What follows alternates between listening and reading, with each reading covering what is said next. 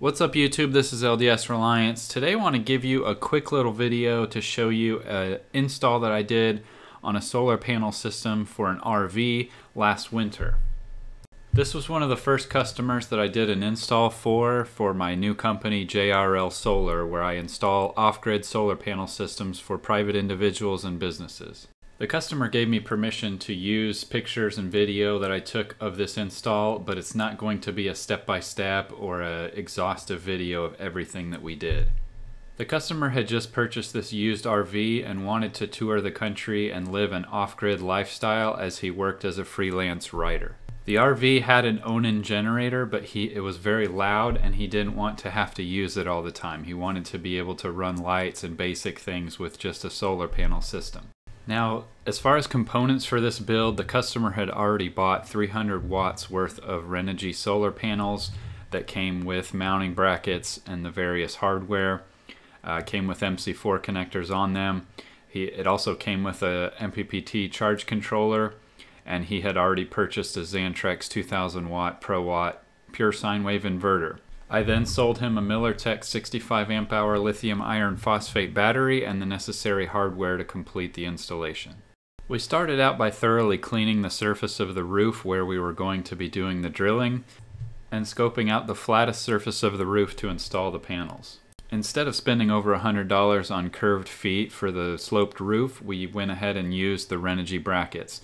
We just had to get some washers and some spacers to make sure that it was as flat as possible.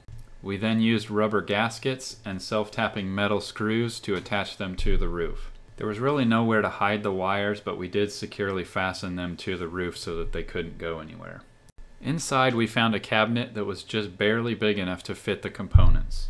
It was right next to the fuse boxes so that we could wire into the RV's electrical system very easily. We chose to put the battery inside so that we wouldn't have to hack up and permanently modify the RV's internal wiring and disable the lead acid battery bank that was in a cabinet outside the RV. This was my very first RV install, so there were a few things that I learned that I hadn't encountered in any other solar panel installation before. The first thing that I learned was it's a bigger challenge than I thought to get solar to play nicely with the internal wiring that already exists in an RV that's typically powered by a generator. The reason for that is solar generates DC power, which would feed the DC circuit and then would convert to AC with an inverter. But it works the opposite way with a generator where you're producing 120 volt AC power, which feeds the AC circuit and then converts to 12 volt DC to power the 12 volt circuit. There are a few ways to get this to work, but none of them are very cheap. And this customer decided that he didn't want to do that at this time.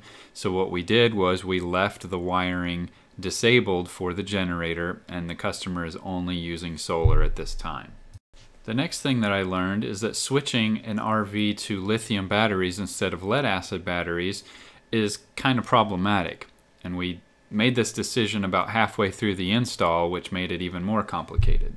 I won't go too in depth into this, but basically the device in the RV that converts the AC power from the generator and uses it to charge the lead acid battery is only compatible with a lead acid battery. It is not programmable and cannot be used to charge a lithium battery, at least not with its ideal settings that will promote the long life of a lithium battery. To fix this, you have to replace the converter charger unit with one that's compatible with lithium, and there aren't very many on the market to choose from at this time.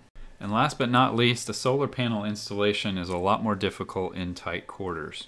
Everything takes just a little bit longer and requires a little bit better planning than it would if you had plenty of space.